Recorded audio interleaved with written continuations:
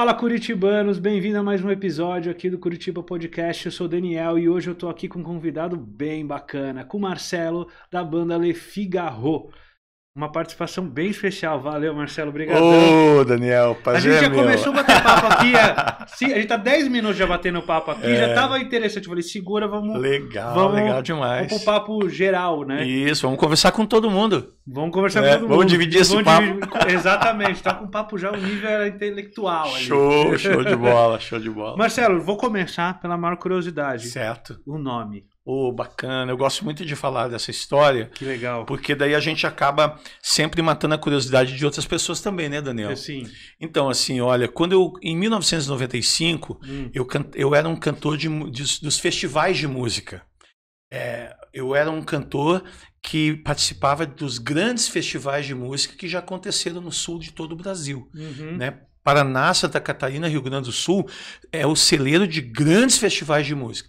Na década de Oh. 80 e 90, nós fazíamos festivais assim, é, a nível de como hoje acontecem os The Voices, assim. Caramba. Surgiram grandes vozes dessa época, inclusive algumas que fizeram grande sucesso. É, e eu era dessa geração. Eu vim desse momento. Então eu era um representante de Curitiba que na época saía de Curitiba para cantar no interior. Uhum. Olha que interessante, ao invés do interior É, vir a capital. Você fazia o né, oposto. E, e saía assim, tipo, eu era um cara que na época comecei a trabalhar muito cedo, com 16 anos, me descobri que. Já na Ah, música. Não, com 16 eu trabalhava, eu, eu era um office boy e eu ia dizer isso, que, que estudava no Cefet e que já cantava nos karaokês de Curitiba. né? Na época Ah. ali dos 18 anos, tinha muitas casas de karaokê aqui em Curitiba. Né? É, 95 é, começou a surgir uma moda. Eu sou de São. Paulo, mas lá também nessa É, época. E, e- e vindo com uma. Era um, era um lance que não era brasileiro, era um lance que era mais japonês mesmo. Sim. Os japoneses tinham essa cultura do cantar em karaokê, em playback. É. Né? E os playbacks eram feitos com fita cassete. Então, nessa época, eu, eu me descobri, eu já gostava de cantar, eu É. cantava desde os 5 anos de idade, mas quando a gente muda a voz, e se você não tem um acompanhamento muito grande dos seus pais, você vai deixando isso meio que de lado. Natural. né? Porque a tua voz engrossa, de repente você vai cantar grosso, bem fino, né? Então, assim, aí eu me descobri cantando novamente. Fui para o interior e lá comecei a ganhar festivais, fui um grande vencedor de festivais.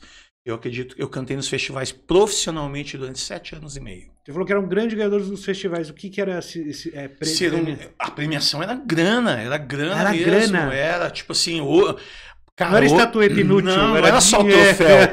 É, é tipo assim, eu fico imaginando que se eu falar do dinheiro de hoje, já é dinheiro bom hoje. Imagina na época. Sim, tipo assim, Cara, hoje era, é, o- é, era um- eu cheguei a ganhar prêmios de 5 mil reais na época. Na Cinco época? mil- é, como podia ser cruzados novos, mas era 5 mil. Uhum. Cara, 5 mil hoje ainda é uma grana muito legal. Né? Se você for pensar assim, Marcelo, quanto ganha um, um músico da noite? Hoje, um músico de cerimônia religiosa, por exemplo, ele ganha 350 À reais para tocar um casamento, para tocar uma cerimônia religiosa. Hum, É o mesmo valor que você vê como é diferente. É o mesmo valor médio que um artista ganha para tocar a noite toda, um músico de Curitiba. Ou seja, o cara vai lá toca qui- quatro, sete, oito músicas num casamento, numa, numa cerimônia. Ou, mas ele estudou música. Cara, o cara para tocar também uma guitarra também estuda muito, cara. sim. Né? sim. Então, são valores. de- Então, imagina ganhar 5 mil, né? Naquela época. Naquela época. Isso em Convertido. 90. 90, cara, isso hoje vai daria o quê? Uns Cara, eu acredito. 35. Cara, você entendeu? Era grana. É. Eu lembro que eu tinha tanto medo, às vezes, Daniel, que quando eu ganhava um festival, eram cidades pequenas e o cara via você pegar, pô, pegar lá com o checão desse tamanho. Cara, eu colocava, eu ia lá no balcão, conseguia trocar no caixa esse cheque na mesma cidade. E, cara, eu nem dormia na cidade, de medo, às vezes, de alguém bater na minha porta do, do quarto, que, cara, quero a grana. Que idade você tinha exatamente? Eu tinha uns 23 anos, 24 anos. Eu sou, eu nasci em 69. Ah, tá. Então, assim, me descobri firmemente na música nesse período. Só que chega uma hora, como tudo na vida, que você começa a ser visado. Hum, Porque, assim, você tinha os cantores daquela região, hum, mas você, como eu era um cara que ia até o. em busca do prêmio, eu já chamava acabava. atenção, chega, já chama atenção. Cara, eu Chega- acabava sendo visado. Então, assim, chegou uma hora que os próprios jurados, que não eram muito diferentes sempre, porque eles tinha, ele tinha que ter know-how para ser jurado. Uhum. Então, você não tinha um 30, você tinha 10, você tinha 15 dispostos, às vezes, viajar 500 quilômetros para ser jurado de um festival. Nossa. Então, é, de repente comecei a ser visado. Aí o jurado chegava para mim durante o dia e falava: pô, Marcelo, de novo. Sabe? Você aqui outra vez, cara. Pô, cara. Vai seguir tua carreira. Vai, você merece mais que isso aqui, cara. E Mas realmente, a grana tava valendo a Oh, pena. e realmente o festival tinha, eu perguntei da idade pra saber se você tinha cabeça de guardar o dinheiro ou você fazia. tinha, tinha Porque eu com sim. 23 anos com uma grana dessa, fatalmente eu, eu, eu ia deixar o dinheiro na cidade. Ia ficar lá na mesma, na mesma noite. Eu era, eu era um cara assim. Eu nunca bebi, nunca fumei, nunca usei drogas. Eu sempre comento com todas as pessoas assim que eu acho que é- isso não tem nada a ver com música. Sim, sim. Música é uma- algo muito diferente Uhum. de todo esse lance. As pessoas é, é, contextualizam nesse sentido. Ah, eu tomo um pouquinho para me deixar melhor. Cara, é, é igual agora na- que a gente está vendo na- nas Olimpíadas, a, a, a garotinha andar de skate, cara. É, ou o né? Ferreira, ou Ferreira a surfar, velho. Uhum. Você viu que ele falou que a maior alegria da vida dele é estar na onda, cara. Cara, minha maior alegria é pegar o microfone e cantar, cara. Não Legal. tenho, não tenho que ter mais alguma coisa pra pra complementar o meu canto. Apesar do dinheiro era bom, você não precisava ter a vida Cara, louca. exatamente. A minha vida é assim, cara, tô indo pra lado- casa. Peguei e vim buscar o que eu queria, É. porque era uma meta. Hum. Eu fazia isso muito como objetivo. Cara, eu não ia fazer.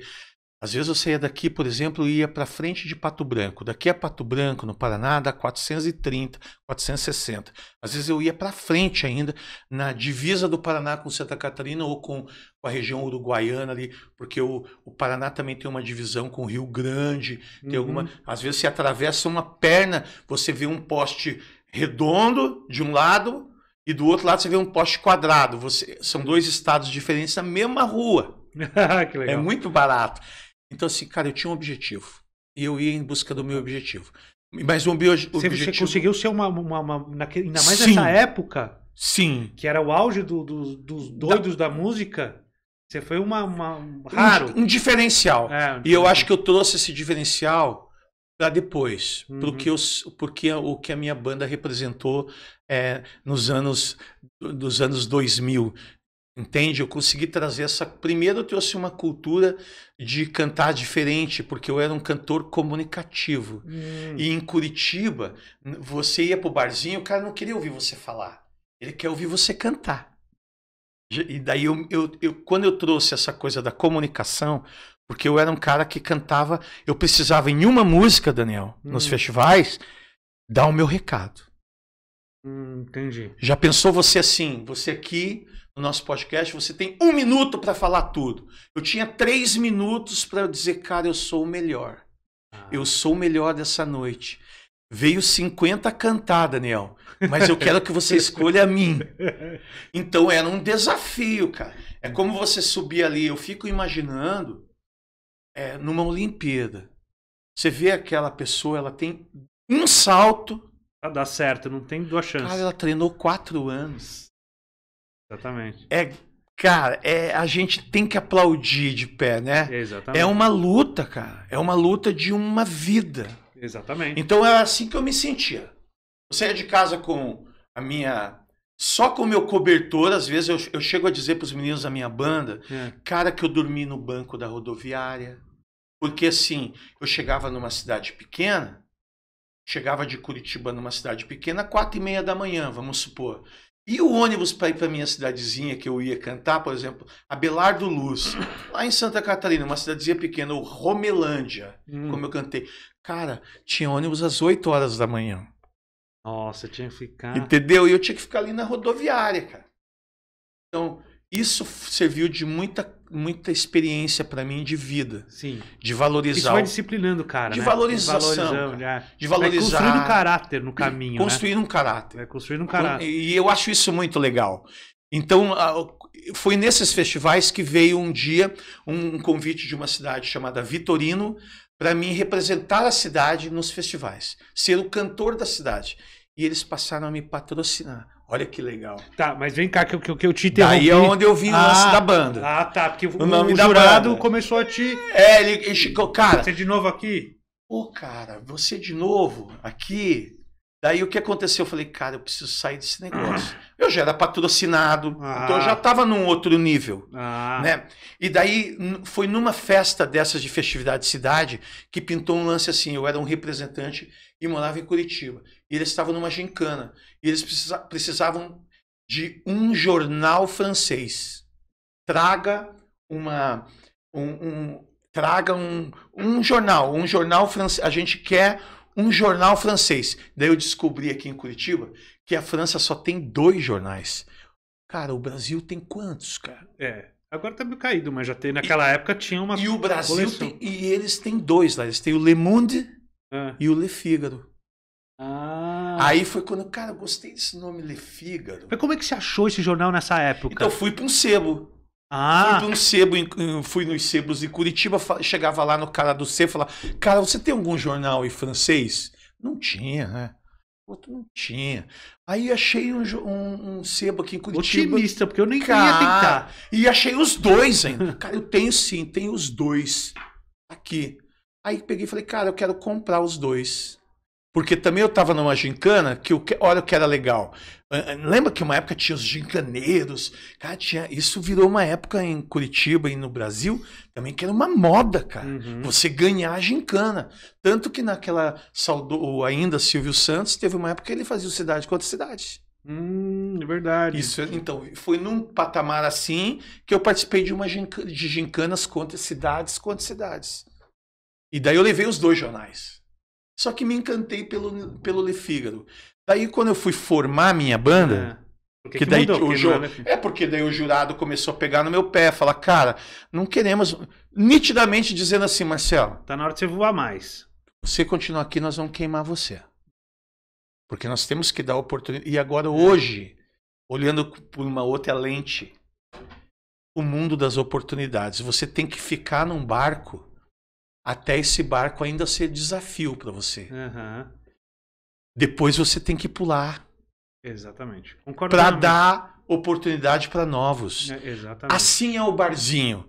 Ou Marcelo não canta mais em barzinho. Eu tive meu tempo do barzinho. Eu preciso agora dar oportunidade para novos artistas estarem no barzinho. Exatamente. Porque o bar é o grande celeiro de artistas. Ele é onde forma o, o caráter e a personalidade de um artista. Exatamente, né? o cara vai tocar Agora, lá, depois. Grana, e o cara, dono do bar, não pode te pagar uma grana grande, Nossa. ele não consegue cobrar. É. Se ele cobrar cover, o cara acha Assusta. ruim. É. Se ele tentar tirar na bebida de você, às vezes você acha que a bebida está muito cara. É. Então é. ele, ele também não consegue pagar muito. Uhum. Né? Então, mas é o, mas é a tua oportunidade. E dali você tem que partir para coisas maiores. Então eu tive a, a, a, escola dos festivais e nele eu me profissionalizei, me profissionalizei musicalmente, fui para a escola de música, tudo. amadureci, fui postar a voz, fui, sabe, fui fazer é, voz aprendendo com o piano para você ter respiração, aprender a cantar com diafragma. Fui estudar para ser melhor. Uhum. Porque eu ia para um concurso, né? Uhum. Então eu tinha que ser bom, né? E depois fiquei sete anos e meio, ganhei tudo que o, os festivais podiam me dar, financeiramente, é, como profissional. Eu já era o Marcelo, só que eu não era o Marcelo Le Figaro ainda. Eu era o Marcelo Higino, que é o meu sobrenome. Tanto que nas reportagens vinha Marcelo Gino vence mais um festival. Uhum. Eu descia na cidade, já vinha o cara me entrevistar. Marcelo, o que você vai cantar hoje? Então, assim, eu fiz o início da minha trajetória. Vim para Curitiba, formei minha banda, mas estava com o pezinho no festival, porque tinha medo da banda não dar certo. Ah, e como é que foi? Você começou? O que, que você focou? A banda ia ser o quê? Que, então, que, é isso é muito legal. Então, assim, eu.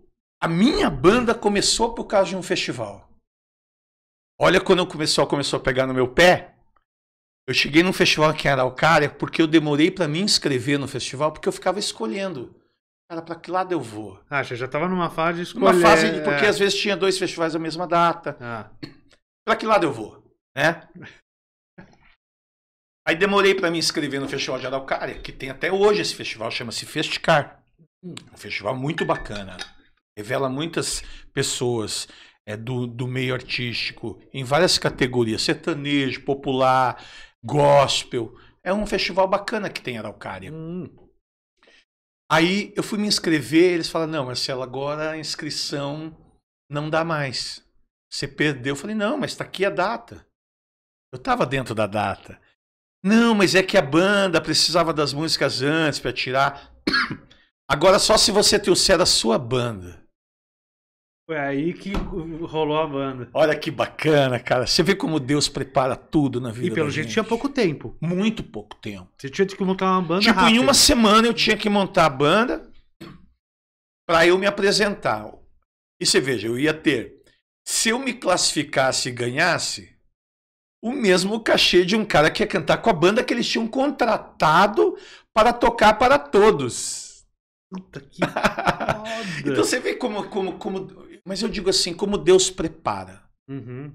Porque dali em diante eu fui atrás dos músicos, porque as músicas que eu cantava não eram músicas muito populares do rádio. Hum. Elas eram desafiadoras. Eram músicas para você realmente impactar.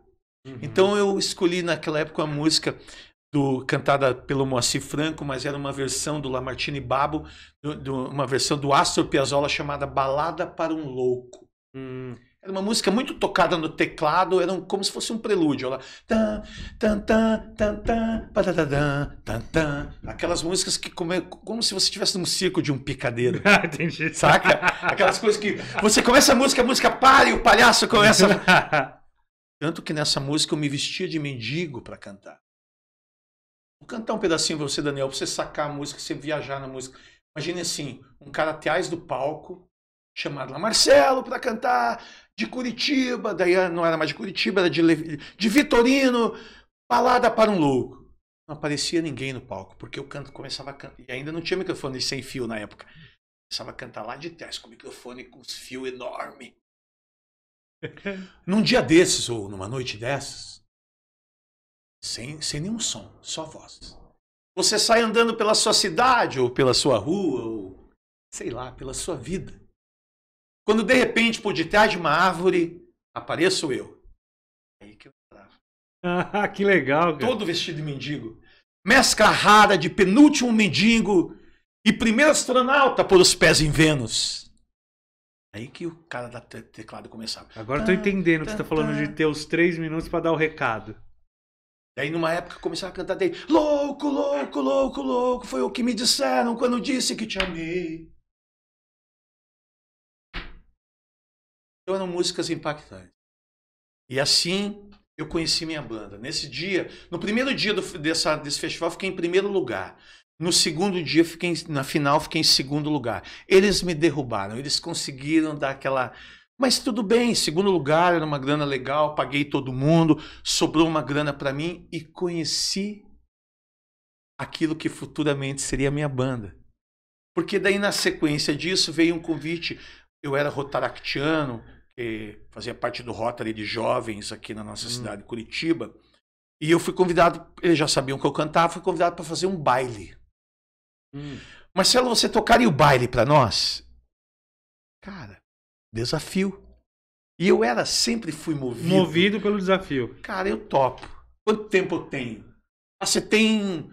Cara, a conferência vai ser daqui seis meses. Você tem seis meses, cara. Topa. Topo. Cara, fui atrás. Lembrei daqueles meninos. Fui atrás deles e os convidei. Cara, vocês querem fazer comigo um ensaio pra gente fazer um baile? Eu, eu pago legal você. Eu sabia que na época, assim, eu lembro como se fosse hoje, assim, é, eu paguei na época, assim, em dólares. Eu paguei acho que uns 150 dólares para cada um, porque o Brasil estava vivendo uma moeda muito instável na época. Isso Eu foi no- lembro, isso foi em 97. eu lembro que o dólar era Cara, é, lembra? corrente aqui porque era muito maluco. A gente não sabia como. Vocês nem sonham que Cara, que é era, isso, era né? uma inflação muito grande, A galera. falava em dólar, aqui é tantos dólares. Você É. ia comprar um computador, É dólar. é dólar. era- A gente estava vivendo um momento de inflação muito grande É. no país. Então, assim, eu, como eu cobrei o baile em dólar, a gente. Até pros, era em Prudentópolis o baile. Eles também queriam fazer uma coisa que eles soubessem quanto que eles iam gastar no final. Então a gente fez um contrato em dólar e eu paguei em dólar. Você veja, 150 dólares hoje, É 5 mil reais. né? Você entendeu, gente? Era bacana. Então, assim, todo mundo ensaiou comigo. A gente fez um. Cara, hoje para tocar um baile, só curiosamente, só, só para você ver, Daniel. Um baile hoje demora umas 4 horas de música ao vivo. Você multiplique por 3, né? Se cada música tem 3 minutos, né? Você precisa ter Tem um repertório 120, gigantesco. 120 minutos, né? São 4 horas de música, 60, 240 minutos, não, 240 músicas, não, 240 músicas não, você tem é, cada Ah. semi- 60 Agora eu vou minutos, essa conta. 60 dá 20, você tem que ter 80 músicas. Porque cada 20 músicas dá 60 minutos. Você tem que ter 4 horas de música ao vivo, você tem que ter em média 80 músicas. E Você teve que. Você compôs todas? Não, Ah. eu tive que. Não, eram músicas conhecidas, mas a gente tinha que ter uma banda que soubesse juntos cantar pelo menos umas 100 músicas. É Entendi música agora. pra caramba, né? Entendi. Por isso que tem que ser valorizado o lance da grana. O cara tem que ir lá pegar o violão dele, estudar sem. Era formar um repertório. E esse repertório não podia ser só de um, de um estilo musical também. É, porque é um baile, É um você vai baile. ter todos os gostos possíveis. E eu tinha esse, esse perfil, porque quando eu estava nos festivais, sempre no final do festival, do dia da final, tinha um baile com a banda que tocava o festival. Ao longo de sete anos e meio, eu aprendi a fazer um baile. Hum, Né? Entende, claro. Eu cheguei até a ser convidado muitas vezes pela banda a cantar com a banda. Eu já era um profissional da música. Marcelo, você faz aí umas quatro músicas com a gente no baile? A gente te paga um cachezinho. Eu ia e subia no palco, já começava a aprender. Porque é diferente você ir e cantar uma música e você ter que levar a noite inteira cantando. É. É diferente. E manter energia. E manter energia, isso mesmo. Saber fazer o, o- os ápices, o lance do baixar o clima, levantar, de- porque você tem que baixar para levantar novamente. É, é, exatamente. Senão o galera também não aguenta Não é só horas. em cima, É, em cima, é. em cima. Não. Dar o, dar o, o espaço para a pessoa cantar com você, porque o brasileiro gosta de cantar. É, é ele não gosta de ouvir você cantar, ele quer cantar com você. É.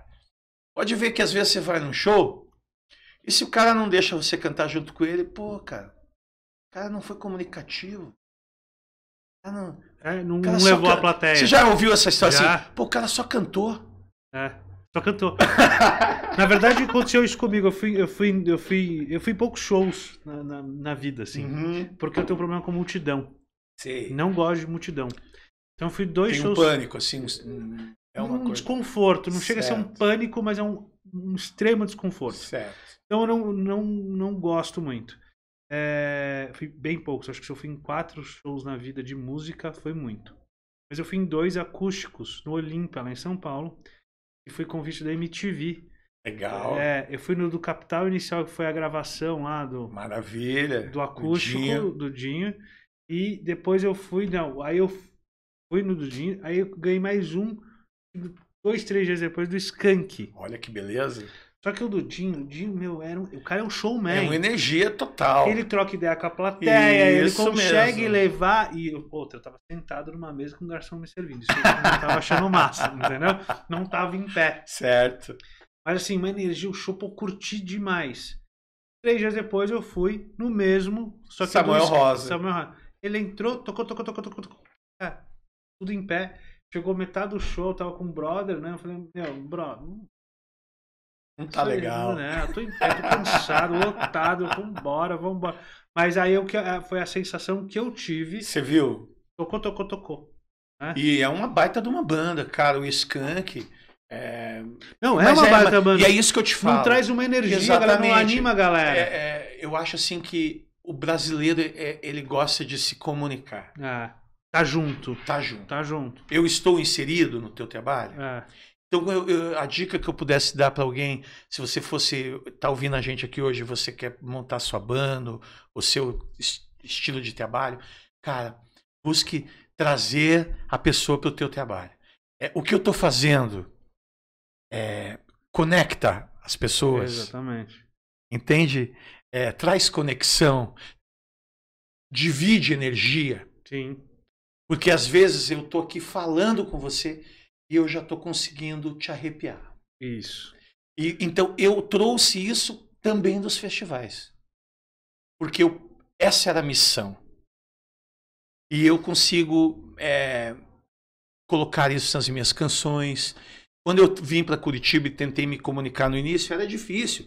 Porque as pessoas queriam mais que eu cantasse. É o famoso presença de palco, né? Sim, porque eu queria que. Vamos lá, cantar comigo. E as pessoas queriam só que você cantasse. Mas eu desco... E daí eu ainda vinha. de- No início foi até engraçado, eu ainda vinha de blazer. De... Eu cantava num estilo que não era do curitibano. O curitibano era mais despojado. E aos poucos eu fui me despindo disso. Entendendo que eu tinha que ser um pouco diferente. Você criou a comunicação com o teu público. Você foi entendendo o teu público Eu, criando eu a comunicação. é, eu tinha que tirar aquelas vestes e, e vir para uma coisa mais moderna. Consegui fazer isso ao longo do tempo, não foi fácil, porque personalidade, né? Você cria uma personalidade durante sete anos e meio e você mudar de repente também é complicado. Mas eu consegui. E daí veio de novo essa ideia. Já, era já estávamos em 2000 daí. Já tinha minha banda, já era Le Figaro. Não, é que tá. Aí você formou o Le Figaro com essa galera. Essa galera. E daí precisava de um nome. E por que não, era, não ficou Le Figaro? Não ficou Le Figaro. Le Porque o nome do jornal é Le Figaro. Isso. E ficou Le Figaro Então você botou mais um R. e Le- um R mais um O. Ah, mais um, é E verdade. ficou assim porque eu fiz uma numerologia. Ah! Na época eu, fui, eu quis saber é, como ficaria para mim usar melhor esse nome. Eu disse- a gente chegou num consenso, galera, ó, nomes aqui. Aí surgiu quatro, cinco nomes. Aí você tirou do jogo. Daí eu, daí eu falei, cara, eu tenho um nome que eu acho legal. Queria apresentar para vocês. Era, eu sugeri dois nomes. Pegasus, que eu tinha aquela questão da, da ave, da coisa que voa, e o Le Figaro. Mas o que é Le Figaro, Marcelo? Eu- É um jornal francês. E, e só que, e, só que tem uma, uma história por trás desse jornal francês que eu fui até. Do Fígaro, Fígaro, por que Le Figaro? Porque, porque existiu o personagem Fígaro, que era a época da, da França, do, do, que tinha o, o, o rei francês lá, que o Fígaro era um personagem, era aquele bobo da corte, aquele, Uhum. aquele palhaço que fica do lado do rei, que faz o rei sorrir, que brinca com o rei e com ele vinha faz alguma coisa, receba os meus convidados, aquela coisa Uhum. do então tinha essa empatia do receber as pessoas, se comunicar com as pessoas e detalhe que eu gostei muito, ele era o faz tudo do rei. Ele era o, o confidente do rei, o que levava a mensagem do rei para uma gatinha, o que sabia das coisas, só ele sabia as, as, as coisas do rei.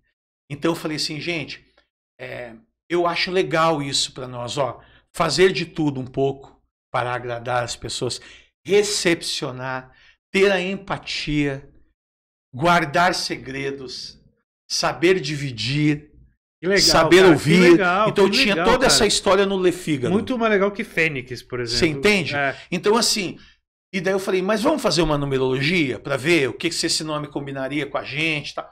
Aí a gente foi fazer uma numerologia. Aí na numerologia é que a pessoa falou, olha, eu acho legal, só que eu acrescentaria um O e um R a mais para impulsionar a fonética do nome. Ao invés de ser Le Figaro, você empurrar para frente. Le Figaro. Aí esse... hum, É legal essa sonoridade. Pô, então, cara, fechou.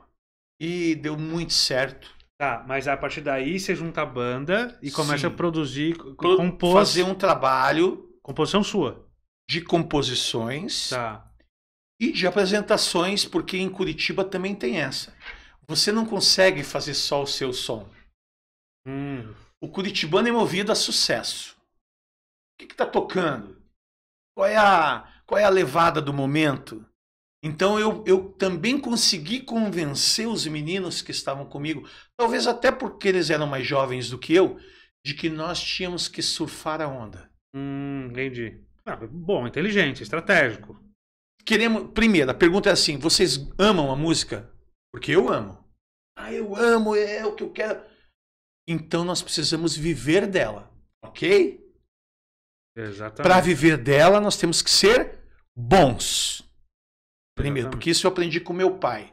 Quando eu tive que chegar no meu pai e dizer: pai, eu quero cantar, eu não quero ser engenheiro elétrico, porque eu fazia eletro- eletrotécnica no Cefet e eu estava no fim do oitavo período e che... cara, era hora de decidir. Eu cheguei no meu pai e na minha mãe. Minha mãe meio, ficou meio brava, mas eles sempre foram muito de me apoiar em tudo. Isso é bom. E o meu pai, ele era aquele cara que dizia sempre firmemente: Cara, seja bom, Não seja importa. melhor no que você quiser fazer. Você precisa tentar ser o melhor, porque o mundo é competitivo. E eu tentei passar isso para os meninos da minha banda. Temos que ser os melhores, ou você só chega, você só consegue ser o melhor se você traçar uma linha para cima. Porque assim, se você traçar uma linha reta, É você mediano. Vai ser mediano. É mediano. Mas se você olhar para cima e você chegar na metade do caminho, você ainda consegue olhar para baixo e Exatamente. ver os medianos, né? Exatamente. Então eu sempre eu falar para cara, temos que ser bom. Temos que tocar o que o povo quer ouvir. Não, não somos nós. Se queremos viver de música no princípio, não somos nós que vamos ditar as regras. Vamos seguir as regras. Exatamente. E vamos propor. Você não nadou contra a maré, né? Não. Você foi. É isso aí, Daniel. estratégico. E vamos propor. Aham. Pô, daí no meio desse caminho de tocar o que as pessoas gostavam, vamos tocar uma nossa. Exatamente. E, e só vamos dizer que é nossa depois. Vamos jogar no meio ali. Vamos... É estratégico, isso é estratégico. Saca? é Porque às fosse- vezes se você fala que é sua, o cara já vai te julgar. É. Ah, pô, o cara vai deixar de tocar o sucesso pra tocar uma dele lá. Vem chatice. Nossa, não- conheço essa música. É. Você joga no meio, o cara tá embalado. Pô, o cara já tá É. com a mãozinha batendo ali, daí depois já é tarde, cara. É, gostou. Já gostou. Não Né? vai com pré-julgamento. E Exatamente. foi legal. E foi legal porque foi uma época que a gente. Isso foi. A gente começou a. A, a banda começou em 97. Hum. E nos anos 2000, você vai lembrar, veio. Não sei se você já estava em Curitiba, Daniel. Tô quatro anos aqui. Ah, então, ó, em Curitiba, no ano 2000, se lançou um grande projeto cultural em Curitiba que eu acreditava que ia ser o maior centro de eventos que era para ser da América Latina, chamado Estação Plaza Show, que é onde hoje é o Estação. O Onde shopping. é o Shopping Estação. Ah, legal. Ali, todo, tudo que foi feito no Estação foi para ser um. Era uma, era uma ideia é, latino-americana de um, de um pessoal que veio com uma grana de fora para lançar um grande centro de shows. E, Então ele, era pra ser uma arena de show. e ele foi por um Ah, tempo. foi? Foi. Ah, Nos anos 2000, foi lançado, tinha o melhor som existia na América Latina. você diz acústica do lugar. acústica e equipamento sonoro. Ah, tá. Era estruturado. Era- nossa, era top. Grandes shows nacionais. Grandes shows, shows nacionais. E uma agenda cultural que começava meio-dia e terminava às 10 horas da noite. Shows no palco, ali onde, a- onde hoje é a Praça da Alimentação, Hum. tinha um palco e você comia, se alimentava ouvindo música. É sensacional, cara. De, Hum, um, de duas em duas horas tinha um, tinha um artista subindo no palco. Artistas regionais, locais e no final de semana Ah, artistas Mas nacionais. já era shopping também. Quando ele inaugurou, ele era shopping. Ah, eu entendi que depois virou shopping. Tá. ele Agora era um shopping, só que de entretenimento. Ah, e morreu. Ele tinha um. Desculpe aqui falar, ele tinha os- fast foods, tinha algumas lojas. Você tem uma ideia como era um shopping de entretenimento? Ele tinha o Parque da Mônica, do Maurício de Souza. Ah, puta, eu fui quando era criança. Não. Cara, eu, can... eu realizei um dos meus maiores sonhos. A banda Le Figaro tocou dentro do Parque Maurício de Souza. Eu toquei para as crianças junto com a Mônica, com o Cebolinha, com o É, Cascão. maneiro. Cara, show de bola. E o que aconteceu com esse projeto? Então, deu muito certo por um período. Foi aonde a minha banda explodiu para Curitiba. Que legal. Foi quando a gente ali dentro, no- em julho de 2000, eu gravei ao vivo o nosso primeiro CD. Ao vivo lá? Ao vivo Nesse- lá. No- Numa segunda-feira, o tempo estava frio como hoje, mas ele estava ainda além do frio, ele estava chuvoso, aquela garoa. Então foi um desafio. A gente, só que a gente já, já vinha numa balada de um sucesso muito popular com a juventude de Curitiba, os estudantes de Curitiba. Era uma época do axé muito forte em Curitiba, do axé music, da Hum. música baiana. E nós éramos a, a banda que mais tocava axé em Curitiba, uma das mais Hum. conhecidas do gênero musical. E a gente gravou o CD às 8 horas da noite de uma segunda-feira, no dia 3 de julho de 2000. E a gente conseguiu colocar 6 mil pessoas ali naquela, naquela praça de alimentação. Cara, você consegue Irado. fechar os olhos e É, olhar eu isso? consigo, eu consigo. Então ali era uma. As pessoas iam. Tanto, para você ter uma ideia, que e nós tivemos Copa do Mundo é, em 98, certo? Uhum. Onde o Brasil tragicamente perdeu para a França na semifinal tal. Nós tocávamos lá todos os jogos do Brasil. Durante não, Durante a, não, é, a gente fazia o antes do jogo, Parava jogo. tinha os telões ali, Aham. o shopping recebia 30 mil pessoas para assistir o jogo. É muito top, cara. Ele conseguiu atingir tudo que ele queria, aquele shopping com. Só que o que, que acontecia?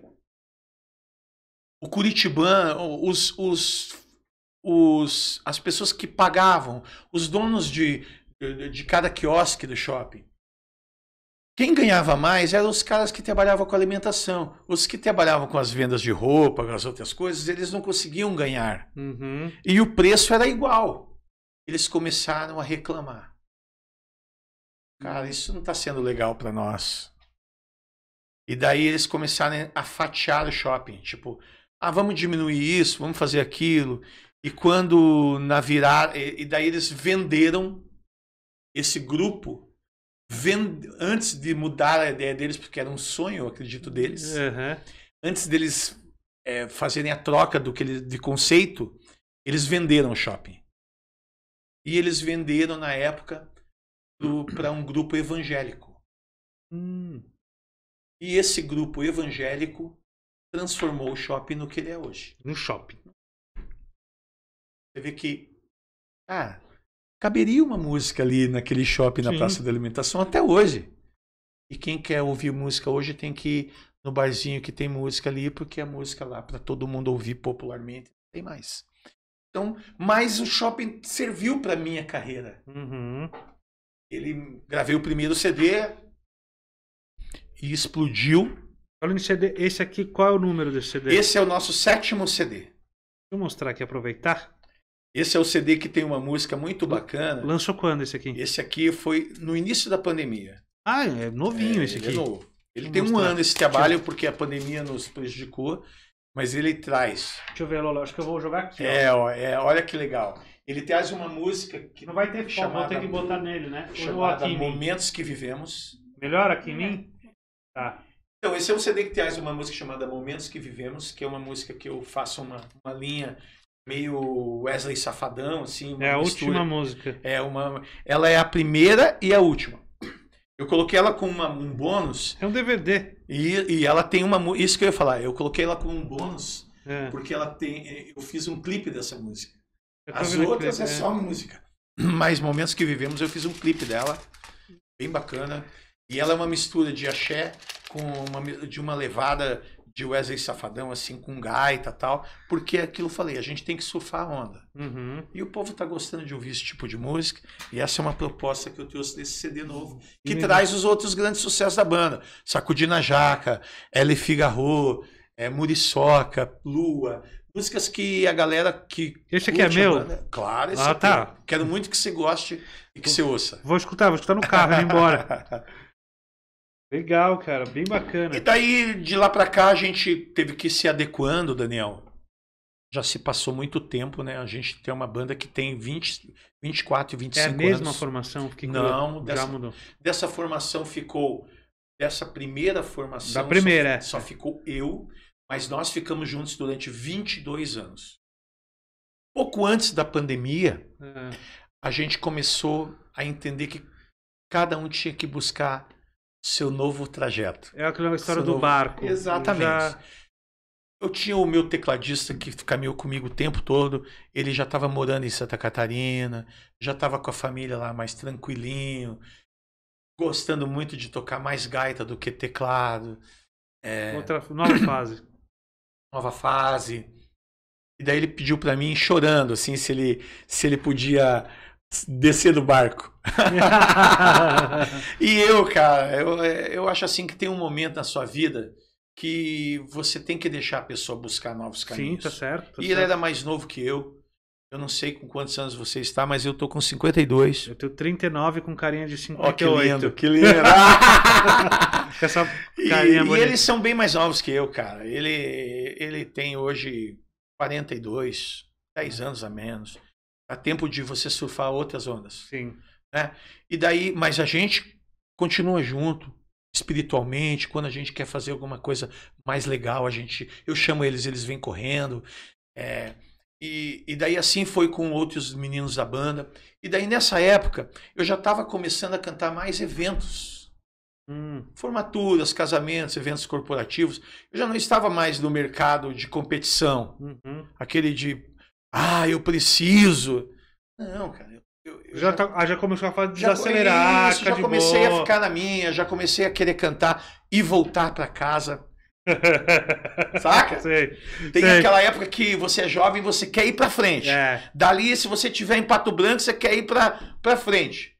Cara, eu já tava na fase de não ver a hora de chegar em casa. Então, assim, comecei a escolher onde cantar.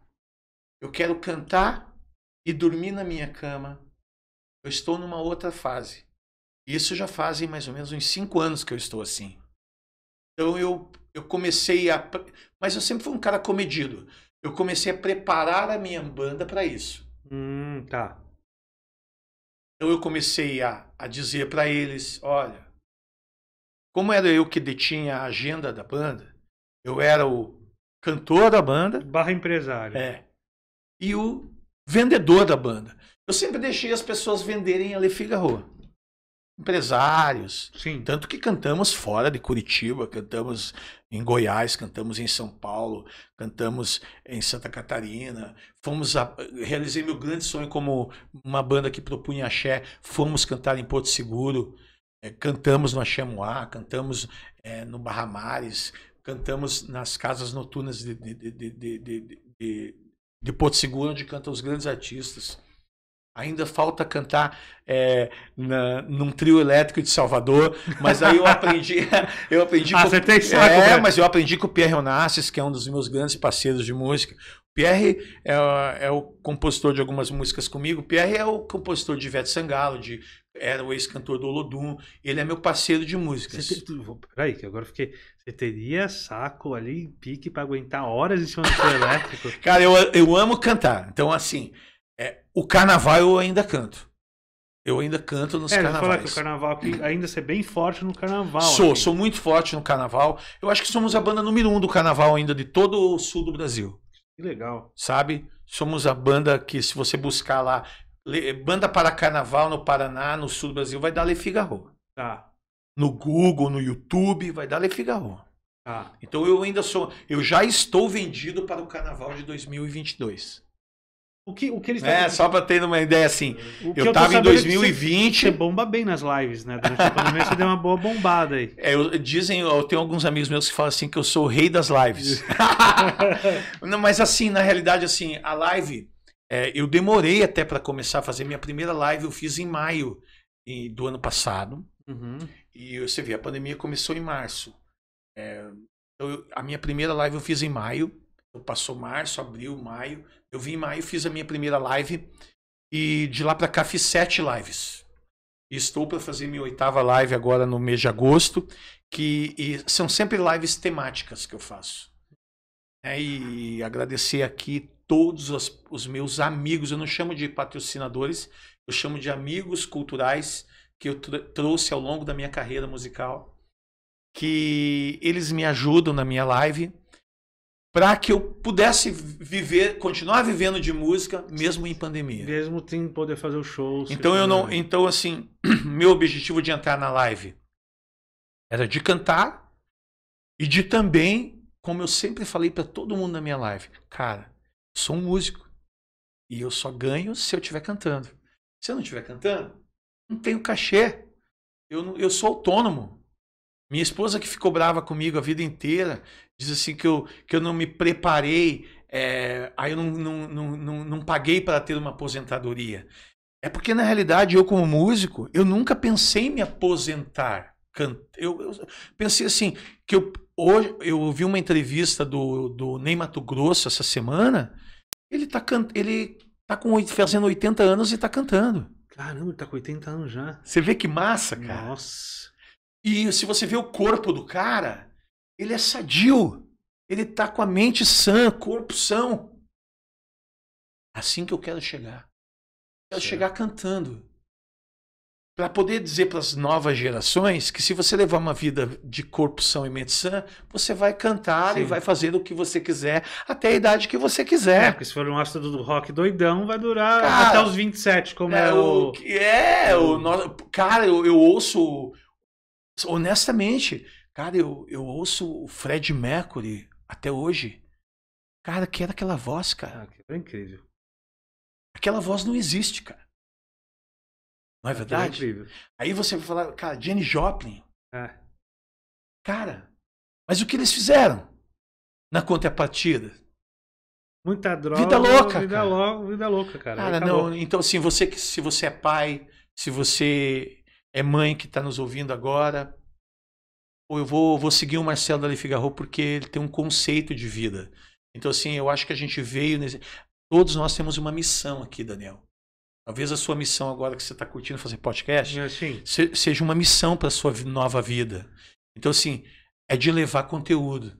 Exatamente. E é de levar proposta. É. E a minha proposta, assim, é que eu, se eu possa deixar algum recado, é dizer assim: faça muito que, o que você ama mas faça consciente. Que você possa ser exemplo para alguém. Exatamente. Exemplo de vida. Exemplo de. Pô, como que é o Marcelo família? Pô, o Marcelo fala de família, mas ele tem uma. Pô, o Marcelo vem aqui e fala de que, ele, que bebida não é legal, que cigarro não é legal para voz.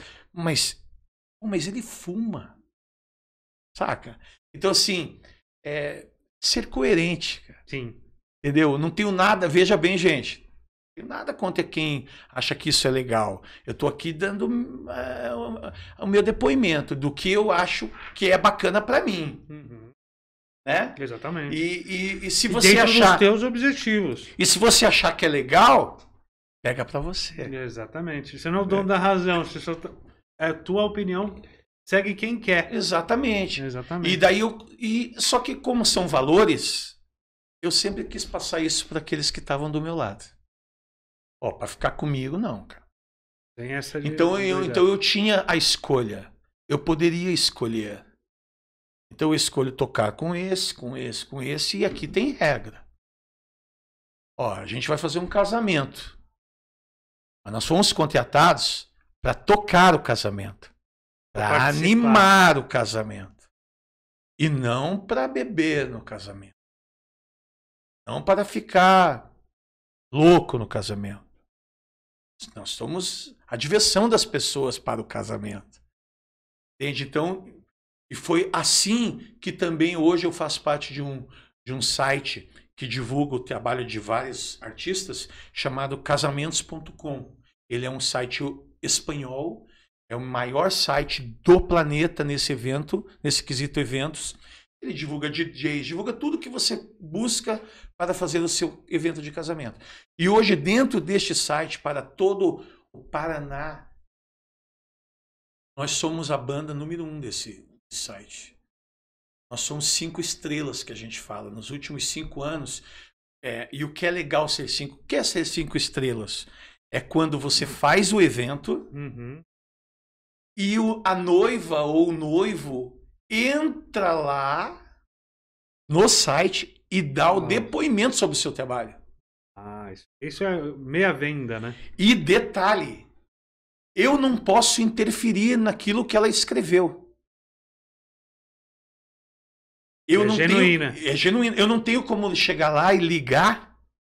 Pô, tira esse negócio que a menina disse que nós tocamos mal. Não tem como. Não, é depoimento. Caramba. Então, assim, nós temos lá, nos últimos anos, 43 depoimentos. Somos cinco estrelas.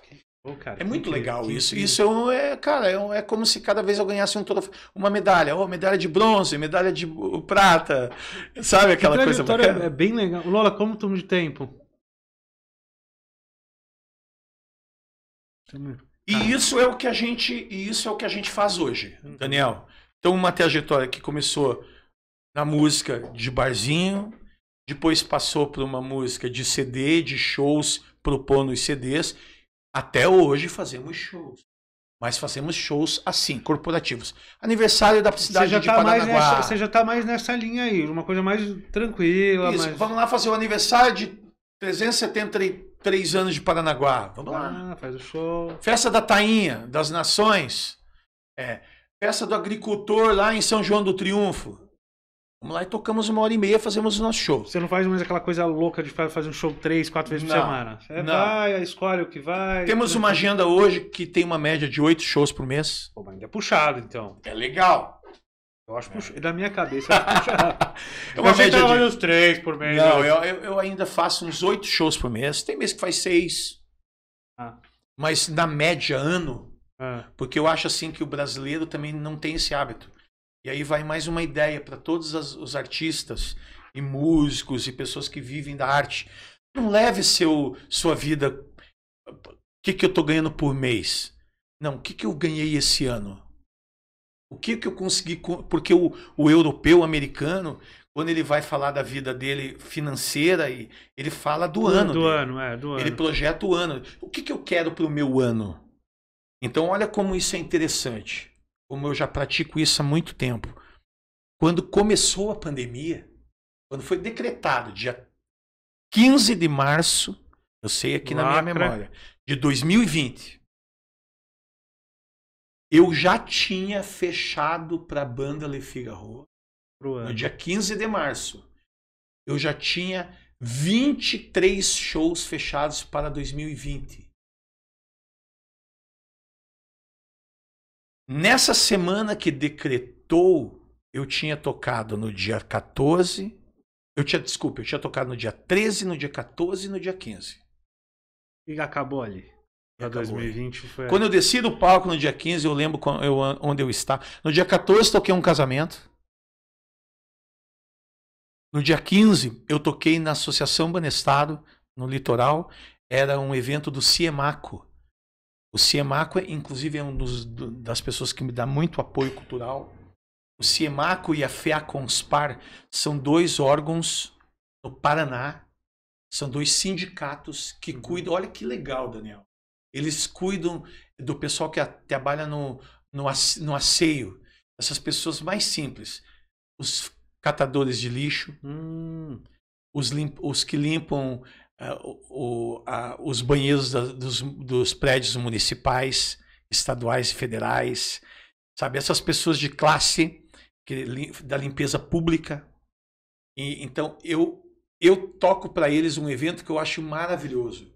Eles fazem um evento todo ano que é o Dia Internacional da Mulher e o Dia Internacional da Família. hum. E eles levam legal, todas aquelas mulheres que nunca viram o mar, cara, a conhecer o mar. E, legal, e daí cara. isso acontece lá, lá na. Por que na Associação Banestado? Porque a associação consegue receber duas mil pessoas ao mesmo tempo. Hospedar. Olha que bacana. Oh, E eu toco para essas duas mil mulheres. Imagina você tocar para duas mil mulheres Nossa. numa noite. Deve ser um frenesi, né, cara? A mulher nem enlouquece lá. É uma loucura, cara. É uma loucura, porque daí nessa noite elas podem beber, é festa, cara. Elas trabalharam um ano inteiro. Rapaz, primeira vez que eu fui, já fazem uns sete anos que eu toco lá. O Manassés, que é o presidente, ô presidente, um abraço. O presidente Manassés Oliveira falou para mim: você está preparado para ser rasgado? para elas rasgarem sua roupa? Eu falei, opa, vamos lá, né? Eu vou me proteger. Rapaz, é, incrível. É uma loucura. É show nacional. É como se você tivesse um show nacional. Legal. É cara. muito legal. Eu tenho vídeos no YouTube disso, procurem lá. É Banda Le Figaro, festa na Associação Banestado. Procure. Cara, é loucura. Eu andando no meio delas, porque eu desço, eu sou um cara meio doido mesmo. Eu desço, tô lá cantando Boate Azul, por exemplo. Né? No meio das volta de mulheres, cueca pro palco. pá, cara. É loucura. É doido. Que legal, cara. E, mas, é, mas é bacana. É aquilo que você falou. É passar energia. Aham. É, trans, Presença de palco. é, é transcender ao normal. E, e, o- e pra, daqui pra frente, já, tá, já, tem, já voltou a ter show marcado pra você? Qual. Olha que legal. Eu, eu fui o. A, a gente precisou remarcar muitas coisas, né? Tá. Eu tive só um cancelamento daquele início. Uhum. Eu tive apenas um cancelamento Quem porque cancelou que já tive era. que cancelar porque a noiva ficou grávida e, e resolveu não fazer mais o casamento. Ela Era um casamento. E daí eu tive eu tive que remarcar para 2022 a maioria. Eu tenho muitas coisas que eu vou começar a fazer agora a partir de agosto. Eu Já tenho vai retomar eu agora. tenho um sábado agora, eu tenho um casamento para fazer acústico. Vai ser o primeiro casamento acústico que eu já toquei na minha vida, não vai ter dança. As pessoas vão me ouvir cantar. Isso vai ser novo para mim. Eu até vou filmar isso, depois eu vou pôr no meu YouTube, no meu canal, porque vai ser uma novidade para mim. É, eu vou propor para as pessoas, é como se- aquilo que você falou. Você lembra que você falou do show que você foi ver? É o show que eu gosto. Você foi ver o Capital Inicial. Sentado. Tinha ouro preto. era um acústico, é. cara. acústico eu te vi, né?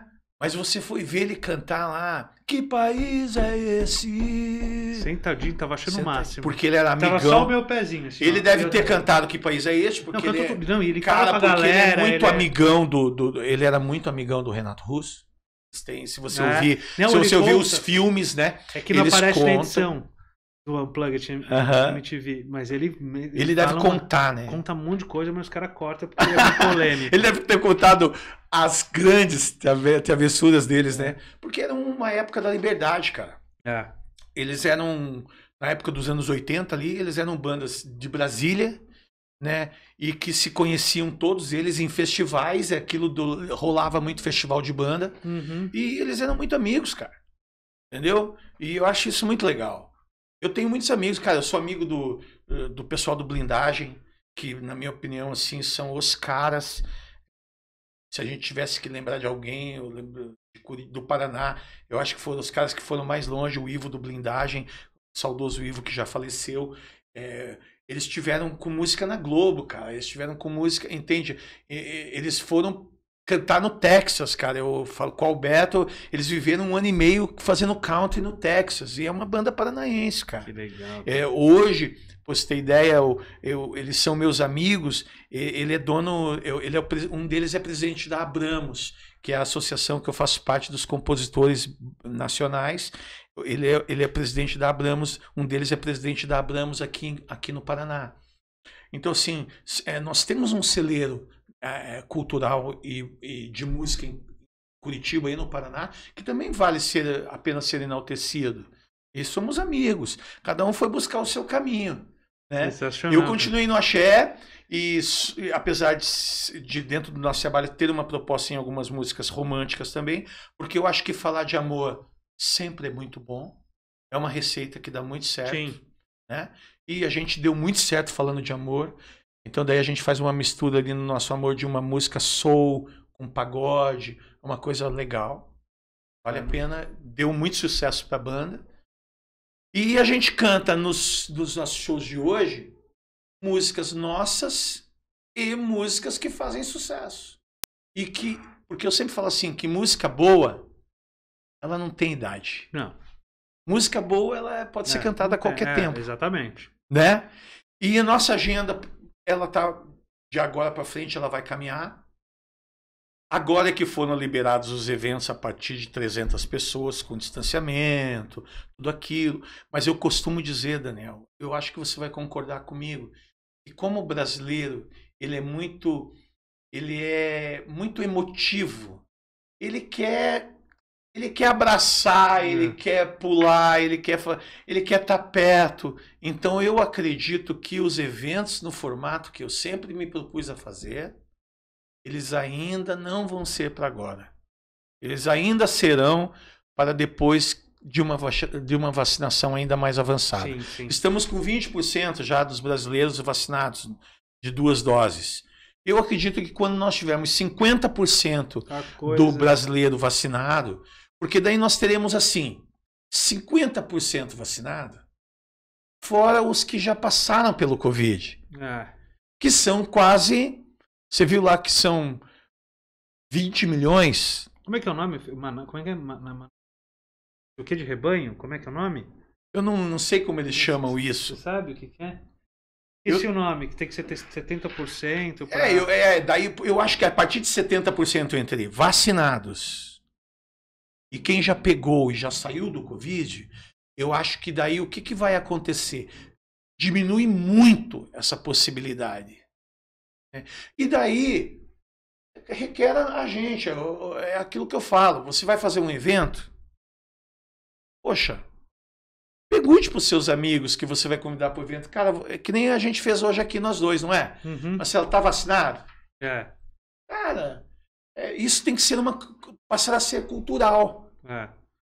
Vai ser- eu acredito que vai ser. Tomara. Vai eu, ser, vai ser. eu- e, e se for para ser otimista, eu sou otimista igual a você. Eu acredito num mundo diferente a partir de agora.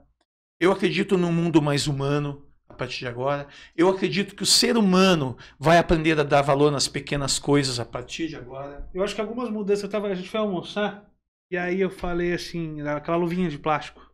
do- do Uhum, restaurante. Eu acho que isso nunca mais vai sair. É- Essa veio pra pandemia e vai ficar. Exatamente. É. O, o, o passar um álcool nas higiene mãos. mão, Isso vai o ficar. higienizar as É, mãos. Porque nós vamos passar isso para os nossos filhos. É. Eu tenho uma sobrinha minha chamada Laira, ela tem sete anos. E a gente fala muito sobre isso. Ela está voltando às aulas agora, porque o Paraná volta às aulas. E eu passo muito isso para ela e ela e, e você vê que ela já aprendeu. Pois é, né, tio? Eu tenho que, cada vez que eu mexer em alguma coisa, eu tenho que me higienizar, né? Exatamente. Tem que usar sua luvinha. Eu tenho que usar, eu vou levar três máscaras, tio. Ótimo, faça isso. Então, assim, nós adultos passamos para as crianças e virar uma cultura, porque tudo aquilo que você faz no seu dia a dia, você passa a fazer mais vezes. Dizem, Daniel, que aquilo que a gente pratica durante 21 dias Virar hábito, né? vira um hábito. Virou hábito. Eu acho que nós estamos fazendo há quase um ano e meio, né? É verdade. Já virou mais do que hábito. Marcelo, adorei você ter vindo aqui. Ô, meu queridão, Pra gente encerrar, por favor. duas coisas. Como é Curitiba Podcast, é o pano de fundo. Ô, Eu sempre faço duas perguntas pro, pro, pro meu convidado aqui no final. Certo. Uma, o que, que mais você gosta em Curitiba? Como cidade, infraestrutura. Se é o parque, se é o trânsito. O que, que você mais gosta em Curitiba? Eu gosto da nossa cidade, da limpeza da nossa cidade. Eu já viajei pelo Brasil inteiro e tenho o maior orgulho da limpeza que é a nossa cidade. Tem gente que fala que nós somos frios, mas é, quem conhece o verdadeiro curitibano e aquele que veio morar aqui sabe que isso não é uma realidade. Eu, eu sei que não é uma realidade. E a segunda, se não se comprometer, porque você faz Por evento, favor. é um restaurante. Uma indicação Puxa, que gastronômica. legal. Bacana. Se você pode falar para maior prazer do mundo. E tanto que vocês vão olhar nas minhas lives, eles não estão nas minhas lives como meus apoios. Mas eu toquei lá durante 10 anos como banda de apoio, como banda que propõe música nos barzinhos. É um bar excelente para ir. Chama-se Hora Extra. Vale muito a pena ficar ali no Bacaxiri. Vale muito a pena você conhecer. Eles têm uma feijoada no sábado maravilhosa. Talvez uma das melhores feijoadas do Brasil. E uma comida de boteco sensacional. Eu proponho você ouvir uma excelente música, porque eles são é, aqueles, o Chico e a Sheila, que são os proprietários de lá, eles são daqueles que primeiro querem ouvir você para depois chamar você para tocar no bar deles. Boa música, boa comida, excelente ambiente. Vale a pena. Hora extra. Valeu, Marcelo. Obrigadão. Valeu, Daniel. Foi muito Prazer bom. estar aqui com você, viu? Obrigado, cara. E olha, espero que eu tenha contribuído. Amo essa cidade e parabéns pelo sucesso do teu podcast. Obrigadão, cara. Valeu. Obrigadão. Valeu.